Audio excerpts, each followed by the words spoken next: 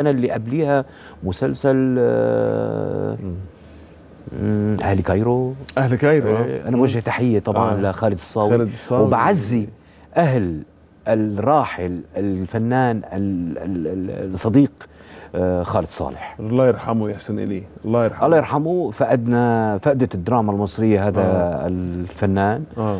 آه، هذا الممثل آه، العالمي. إحنا خسرناه والله فعلا. آه، يعني كان يبحث عن مدرسة خاصة فيه انتبه إذا بت إذا بتراقب أسلوبه لخالد صالح الله يرحمه مم. كان يبحث دائما عن أسلوب خاص في في. آه، ودي طولة العمر آه، خالد صاوي أيضا من هذه المدرسة آه. يعني يعني ليس تقليدي ممثل غير عادي آه. غير تقليدي آه. خارج خارج الإيقاع ما تعرفش تقارنه يعني. ما تعرفش تقارنه بحد هو يعني آه، له الخاصة. زي ما تقول يعني اصدار إصدار خاص أسلوب خاص أسلوب خاص أسلوب خاص آه. مدرسة خاصة آه. خالد كان رايح لهنيك الله يرحمه آه وعلى فكرة هو عمل دور رائع في فيلم الجزيرة 2 اللي بيعرض حاليا. أنا ما شفته زينه لا. شافته بدبي من يومين. آه، يعني قالت لي عامل كان دور. بيودع ال- ال- المشهد الظاهر كان آه طبعا يعني للأسف آه قالت لي عامل دور مهم كتير كتير وحلو كتير وأنا ما شفته بس رح أشوفه يعني رح و-. و- الله يرحمه يعني الله و- و- يرحمه و-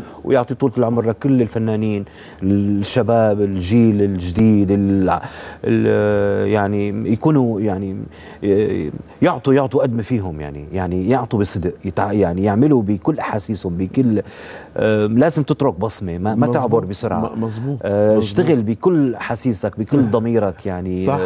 وفي أكفاء بالدراما المصرية وفي تاريخ كبير يعني بيحميهم. وأنا مبسوط إنك متابع المشهد أستاذ عابد كده يعني ده ده نوع من ال- الاهتمام بالدراما العربية والمصرية تحديدا ونوع من الثقافة العامة يعني تثقيف الفنان لنفسه. ما لازم معقول ت- تقعد بالبيت يعني ما تقعد ما تغمي عينيك ما تشوفش الآخرين. بمناسبة زينة أنا بوجه لها تحية كبيرة لأن زينة يزجي زوجة الاستاذ عابد فهد هي آه، ال- ال- المذيعة والصحفية والإعلامية المعروفة والشهيرة زميلتي وهي من أشهر المذيعين المذيعات العرب عم بتشوفنا هلا في, في سكاي نيوز عربية. وكان ليها آه، حوار مهم جدا مع الرئيس مع السيد. الرئيس آه السيسي. و- وأمور أخرى كتير جدا وأنا بوجه لها تحية كبيرة جدا آه، من خلال برنامج مصر